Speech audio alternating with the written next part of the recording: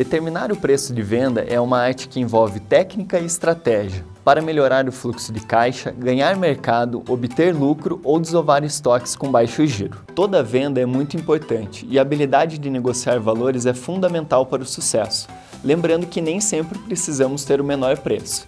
Saber aplicar diferentes técnicas para precificação é um fator chave de sucesso de muitos negócios. O cálculo do preço de venda está correto? São muitas fórmulas que as empresas usam para calcular o preço de venda, mas na maioria das vezes os preços não são alterados, quando na realidade seriam muito importantes que esses valores variassem de acordo com as condições e a importância de cada negociação. Todas as formas de se calcular o preço de venda estão em parte corretas, desde que seja aplicada uma margem sobre os custos. Porém, em muitos casos é comum não saber qual é a margem de lucratividade. É possível obter lucros desde que os volumes de vendas atinjam os padrões que foram utilizados para cálculo dos índices de custos fixos. Outra questão é quando os preços são determinados pelo mercado e a empresa só necessita acompanhar, como por exemplo, o preço para competição entre vários concorrentes, o preço sugerido ou tabelado pelos fabricantes e órgãos regulamentadores. Em todas essas situações, é preciso dominar a metodologia para o cálculo do preço de venda e manter a flexibilidade para negociar os preços de acordo com as oportunidades e necessidades. Como anda sua lucratividade? A lucratividade calculada no preço de venda de cada item deve estar associada ao volume de vendas.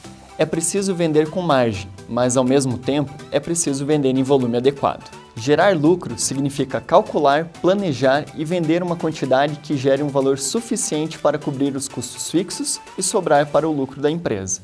Esse volume precisa ser calculado com base no perfil dos custos da sua empresa e na margem de lucro desejada. Quanto menor for a margem de sua venda, maior será o volume a ser vendido. E o cuidado é saber avaliar se a sua empresa terá potencial para vender o volume necessário para gerar lucro. Você tem controle sobre as vendas e as margens? Se você está vendendo bem demais ou não está vendendo, se preocupe, pois alguns problemas podem existir.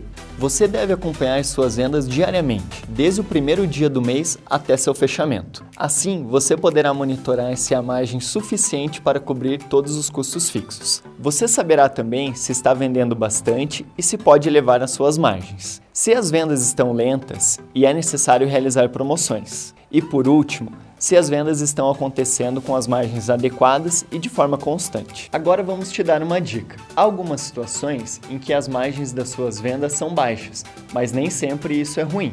Para itens sem giro ou que tenham demasiado volume em estoque, essa prática passa a ser até necessária para desovar itens parados.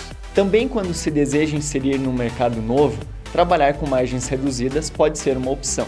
Tenha como grande estratégia não perder vendas, mas cuide para não se prejudicar nas negociações futuras, pois preços muito baixos podem caracterizar produtos sem a devida qualidade e provocar uma guerra de preços com a concorrência.